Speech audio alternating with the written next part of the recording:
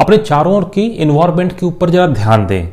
कहीं पर natural resources का एक्सप्लोटेशन हो रहा है, प्राकृतिक संसाधनों का दोहन हो रहा है, कहीं पर पेड़ पौधों को काटा जा रहा है, कहीं पर वाइल्ड लाइफ को हार्म किया जा रहा है, या वाइल्ड लाइफ को कहीं ना कहीं इसको नुकसान पहुँचाया जा रहा है। जितने भी इन्वायरमेंट से जुड़े हुए ये मुद्दे जो हैं, आप इनको लेकर कहाँ जाएँ? यदि सामान्य कोर्ट में यदि आप जाते हैं तो यहाँ पे टाइम ड्यूरेशन ज़्यादा लग जाएगा और हो सकता है उस नेचुरल रिसोर्स को या उस वाइल्ड लाइफ को नुकसान हो चुका हो। तो बात यह आती है कि इन मुद्दों को लेकर कहाँ जाए। तो इसके लिए यहाँ पे गठन किया गया है एनजीटी का। नेशनल ग्रीन ट्रिब्यूनल राष्ट्रीय हरित न्यायाधिकरण। तो आइए आज डिस्कशन करते हैं इस इंटरेस्टिंग टॉपिक एनजीटी मैं अंकेश सिंह साइंस और टेक के इस यूट्यूब ऑफिशियल चैनल वर्निक्स में आप सभी का स्वागत करता हूँ। जैसा कि मैंने बोला कि बात करते हैं एनजीटी एनजीटी की मैंने कुछ आपको भूमिका आपको बताई कि भूमिका क्या है, कि जितने भी नेचुरल रिसोर्सेस हैं वाइल्ड लाइफ है, उनको कहीं ना कहीं कंजर्व करना पड़ेगा। कंजर्व करने के साथ उनका रख रखाव ज़रूरी है। यदि कोई इन्हें नुकसान पहुंचाता है तो अपील कर सकते हैं कहाँ पर? एनजीटी में जाकर अपील कर सकते हैं। चूँकि मैं एनजीटी की भूमिका में आपको बता चुका हूँ स्पेशल कोर्ट है, जो इन्वायरमेंट से जुड़े हुए मुद्दों को सुलझाते हैं या उनका तुरंत निपटान करते हैं। क्योंकि अधिक समय यदि लगा तो अधिक समय लगने से हो क्या जाएगा कि उस इन्वायरमेंट को या उस वाइल्ड लाइफ को कहीं ना कहीं नुकसान हो चुका रहेगा। इस एनजीटी के तरीके का पहला कोर्ट जहाँ पर आप अपील कर सकते हो तुरंत निपटाने के लिए, यदि मैं वर्ल्ड में इसकी बात करूँ तो वर्ल्ड में यहाँ पर आपको ऑस्ट्रेलिया में देखने को मिलेगा। जिसने अलग से ही एक कोर्ट स्पेशल कोर्ट बनाया, जहाँ पर निपटान हो सके इन्वायरमेंट से जुड़े हुए मुद्दों का। सेकंड भी आपको याद रहेगा ऑस्ट्रेलिया से जुड़ा हुआ है न्यूजीलैंड तो न्यूजीलैंड ने इसके बाद इसके ऊपर कानून बनाया, ताकि पर्यावरण से जुड़े हुए जितने भी मुद्दे हैं, उनको यहाँ पर सुलझाया जा सके या उनका तुरंत निपटान किया जा सके। तो फ़र्स्ट हो गया सेकंड हो गया। तो बात करते हैं इंडिया की। यदि मैं इंडिया की बात करूँ तो इंडिया, भारत, ये थर्ड नंबर का ऐसा देश है, जिसने अलग से ही स्पेशल कोर्ट ये बनाया गया है। यहाँ पर पर्यावरण से जुड़े हुए जितने भी मुद्दे हैं, उनको सुलझाया जाएगा या उनका निपटान किया जाएगा। और यदि इसमें मैं बात करूँ डेवलपिंग कंट्रीज़ में, विकासशील देशों में बात करूँ तो विकासशील देशों में भारत या इंडिया का फ़र्स्ट नंबर है, जिसने ऐसे कुछ कानून या ऐसा कुछ कोड बनाया है। तो बात करते हैं एनजीटी की बात करते हैं, थोड़ा हिस्टोरिकल बैकग्राउंड के बारे में चर्चा कर लेते हैं। तो ये एनजीटी कहाँ से आया? तो इंडिया में एक एक्ट है नेशनल ग्रीन ट्रिब्यूनल एक्ट 2000 राष्ट्रीय हरित न्यायाधिकरण अधिनियम 2000 इस अधिनियम के तहत या इस एक्ट के तहत ड्राइव किया गया या बनाया गया किसको? एनजीटी को, जिसका एस्टेब्लिशमेंट स्थापना हुई कब? 18th ऑफ़ अक्टूबर 2010 18 अक्टूबर 2010 को इसकी स्थापना की गई। ये दरअसल है क्या? ये एक कानूनी निकाय है। कानूनी निकाय का मतलब है इसको अपन ने इस अधिनियम, इस एक्ट के थ्रू क्या किया है? बनाया है एनजीटी को। तो कई बार यहाँ से क्वेश्चन बन चुका है कि एनजीटी कैसा कानून है। तो ये कानूनी निकाय है, जिसको अपन ने ड्राइव किया है जिसको अपन ने बनाया है इस एक्ट के तहत। कौन सा act National Green Tribunal act 2000 से अपन इसको बनाया है। किसको? एनजीटी को। तो ये तो था कुछ इसका हिस्टोरिकल बैकग्राउंड आगे से बात करते हैं एनजीटी की प्रिंसिपल बेंच या मेन बेंच कहाँ पे है? इसके अलावा सब बेंचेस कहाँ कहाँ पे एस्टेब्लिश हैं? या कहाँ कहाँ पर इसको निर्धारित किया गया है? तो यदि मैं बात करूँ एनजीटी की प्रिंसिपल बेंच मेन बेंच की बात करूँ, ये दिल्ली में एस्टेब्लिश है। दिल्ली में इसका मुख्यालय है एनजीटी मेन बेंच भी आप इसको बोल सकते हैं। इसके अलावा मैं रीजनल बेंच की बात करूँ, क्षेत्रीय बेंचों की मैं बात करूँ, कहाँ कहाँ पर एनजीटी के अलग अलग रीजनल बेंचेस है। तो यहाँ पे चार बेंचेस आपको देखने को मिलेंगी। इसमें पहला है भोपाल, ये मिडिल बेंच है एनजीटी की, मध्य बेंच है। किसकी? एनजीटी की। यदि मैं बात करूँ, वेस्ट में, पश्चिम में पश्चिम में है पुणे। बात करूँ मैं ईस्ट की, पूर्व की बात करूँ तो यहाँ पे कोलकाता बेंच एस्टेब्लिश है। और इसके अलावा जो साउथ एरिया है, साउथ की मैं बात करूँ तो यहाँ पर चेन्नई बेंच को एस्टेब्लिश किया गया है। तो होल ऑफ़ इंडिया ये आपको पाँच बेंचेस आपको देखने को मिलेंगी। कहाँ कहाँ पर ये एस्टेब्लिश है? आगे से बात करते हैं कि इस एनजीटी में कौन कौन मेंबर्स होते हैं कौन कौन सदस्य होते हैं। इसके पहले मैं आपको बता दूँ तो एनजीटी के जितने भी जो मेंबर्स हैं, वो सिलेक्ट किए जाते हैं।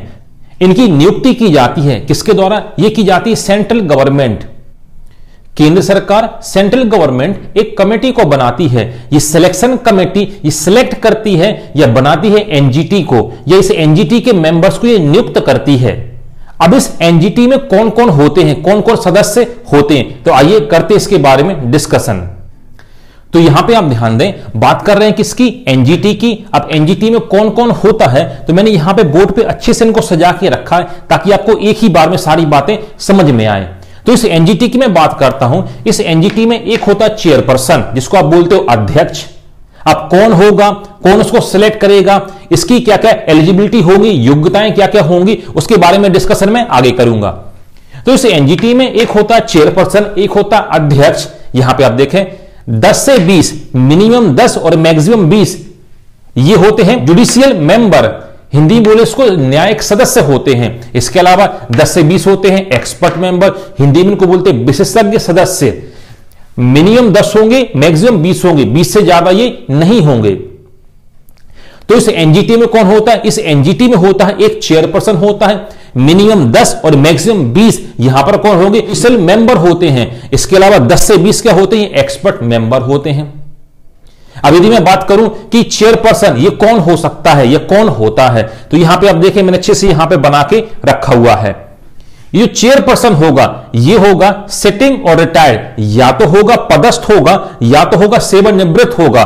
कौन? CJI chief justice of India Bharat के उच्चतम न्यायालय का मुख्य न्यायाधीश। तो भारत के उच्चतम न्यायालय का मुख्य न्यायाधीश यहाँ पर क्या होगा? चेयरपर्सन होगा। आप देखें। सिटिंग और रिटायर्ड सीजीआई और या तो यह हो सकता है, या आप देखें। सिटिंग और retire CJS chief justice of high court जो उच्च न्यायालय जो है, उसका मुख्य न्यायाधीश यह क्या होगा यहाँ पर? अध्यक्ष हो सकता है। तो चेयरपर्सन के लिए दो क्राइटेरिया हैं। कौन कौन से क्राइटेरिया हैं? या तो ये होगा CJI chief justice of India उच्चतम न्यायालय का मुख्य न्यायाधीश होगा, या तो क्या होगा? CJS chief justice of high court या उच्च न्यायालय का मुख्य न्यायाधीश होगा। दोनों ही मुख्य हैं। दोनों ही चीफ हैं। तो ये क्या हो सकते हैं? ये यहाँ पर चेयरपर्सन हो सकते हैं।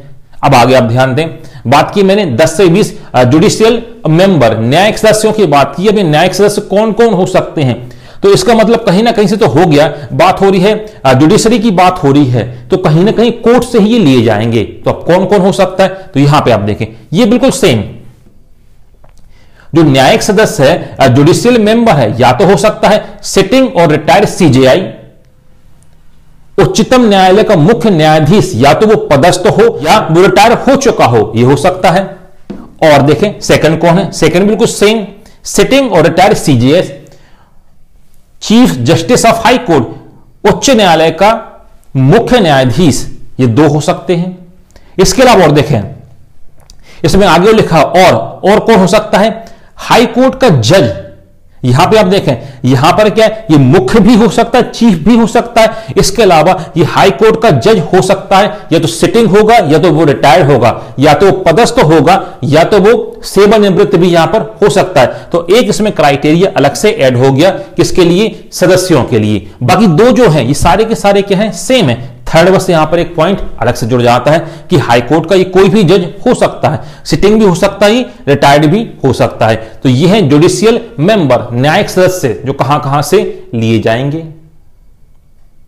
इसके अलावा आप देखें, बात करते हैं एक्सपर्ट मेंबर की बात करते हैं। जब आपने बोल ही दिया विशेषज्ञ मेंबर इसका मतलब कुछ ना कुछ डिग्री इनके पास होनी चाहिए। तो इसके भी कुछ क्राइटेरिया डिसाइड किए गए हैं।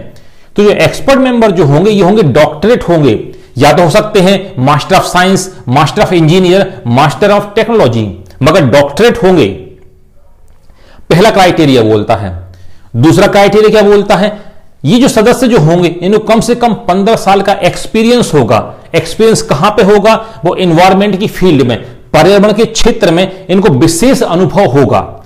इसके अलावा इन पंद्रह सालों में पाँच साल का इनको एक्सपीरियंस होना चाहिए। कहाँ पर? नेशनल लेवल एजेंसी में। किसी भी जो, कोई भी जो नेशनल लेवल की एजेंसी है, जो इन्वायरमेंट प्रोटेक्शन के लिए काम कर रही है, वहाँ पर इनको पाँच साल का कम से कम अनुभव होना चाहिए। ये दो क्राइटेरिया होंगे किसके लिए? एक्सपर्ट मेंबर के लिए। या तो ये हो सेकंड के लिए लिखा हुआ, और। इसमें देखें, या तो ये होना चाहिए सेकंड या तो आप देखिए इसमें आगे क्या है। या तो जो विशेषज्ञ सदस्य जो हैं, ये जो एक्सपर्ट मेंबर जो हैं, यानी पंद्रह सालों का नेशनल और स्टेट लेवल की कोई भी इन्वायरमेंट की एजेंसी में काम करने का अनुभव होना चाहिए। इन पंद्रह सालों में पाँच साल का इन्हें प्रैक्टिकल एक्सपीरियंस भी हो। प्रैक्टिकल एक्सपीरियंस मतलब कि व्यवहारिक ज्ञान भी हो इन्वायरमेंट के बारे में। तो ये जो क्राइटेरिया बताए गए हैं, ये एक्सपर्ट मेंबर के क्राइटेरिया बताए गए हैं। तो एक बार मैं जल्दी से आपको रिवाइज करता हूँ। बात करते हैं एनजीटी तो एनजीटी में कौन होगा? एक होगा चेयरपर्सन 10 से 20 होंगे जुडिशियल मेंबर 10 से 20 होंगे एक्सपर्ट मेंबर चेयरपर्सन कौन हो सकता है? सिटिंग और रिटायर्ड क्या हो सकता है? CJI chief justice of India इसके अलावा क्या हो सकता है? सिटिंग और retired CJs chief justice of high court यदि मैं बात करूँ जुडिशियल मेंबर की बात करूँ, दो तो सेम ही रहेंगे। इसके अलावा हाई कोर्ट का कोई भी जज या तो वो सिटिंग हो सकता है, या तो रिटायर्ड हो सकता है। एक क्राइटेरिया इसमें अलग से ऐड हो जाता है। इसके अलावा आप देखें, यहाँ पे मैंने बात की एक्सपर्ट मेंबर की बात की। फ़र्स्ट इनके पास डिग्री डॉक्टरेट होना चाहिए, या तो मास्टर ऑफ़ साइंस इंजीनियर या टेक्नोलॉजी से। इसके अलावा पंद्रह साल का उनको एक्सपीरियंस हो इन्वायरमेंट की फ़ील्ड का। इन पंद्रह सालों में से भी पाँच साल का एक्सपीरियंस हो किसी भी नेशनल एजेंसी जो इन्वायरमेंट से जुड़ी हुई है, उसके साथ काम करने का उनको अनुभव भी हो।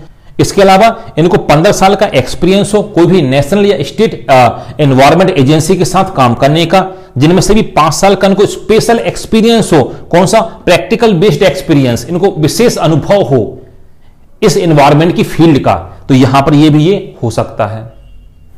यदि मैं बात करूँ एनजीटी का जो चेयरपर्सन है या जो मेंबर्स हैं कि इनका कार्यकाल टाइम पीरियड कितना होता है तो यहाँ पे ढेर सारे क्वेश्चन आपको एग्ज़ाम में देखने को मिलेंगे, जिनके अलग अलग आंसर आपको देखने को मिलते हैं। तो यहाँ पे मैंने क्लियर उसको मेंशन करके रखा हुआ है तो आपको समझने में ज़्यादा आसानी होगी। देखते हैं। जिसमें बात करूँ कि चेयरपर्सन कि इसका कार्यकाल कितना होगा, इसकी पदावधि कितनी होगी, कब से कब तक ये चेयरपर्सन रह सकता है तो आप देखें। ये चेयरपर्सन है, या तो रह सकता पाँच साल या सत्तर साल। सत्तर साल जो पहले हो जाए पता चला कि उम्र पहले हो गई तो यहाँ पाँच साल का कोई मतलब नहीं है, सत्तर साल पहले कंप्लीट हो गया। जो पहले कंप्लीट हो, पाँच साल या सत्तर साल, मगर ये किसके लिए है? ये आप देखें, ये सीजीआई के लिए है, ये चीफ जस्टिस ऑफ़ इंडिया के लिए है। भारत का सुप्रीम कोर्ट का मुख्य न्यायाधीश के लिए कार्यकाल है पाँच साल या सत्तर वर्ष।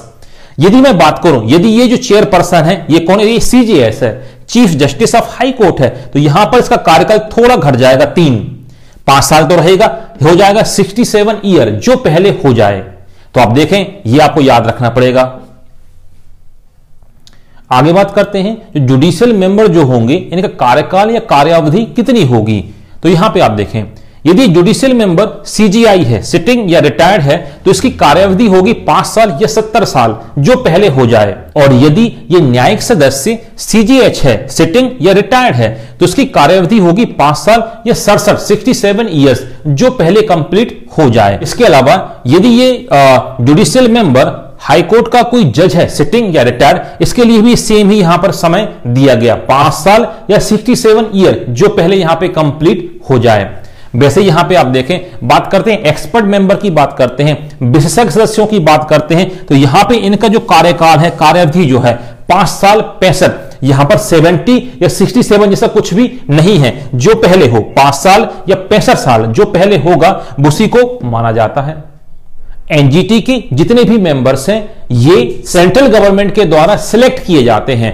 सेंट्रल गवर्नमेंट एक कमेटी बनाती है। ये कमेटी या नियुक्ति समिति ये सिलेक्शन कमेटी इन एनजीटी के मेंबर्स को ये नियुक्त करती है। यहाँ पर जितने भी लोग हैं चाहे वो चेयरपर्सन हो एक्सपर्ट मेंबर हो या जुडिशियल मेंबर हो इन दोबारा नियुक्ति या रीअपॉइंट ये नहीं होते हैं। ये तो थी यहाँ पर एनजीटी के बारे में कुछ रोचक जानकारी। आ, मुझे उम्मीद है कि आपको आसानी से समझ में आया होगा। तो मिलते हैं आने वाले लेक्चर में।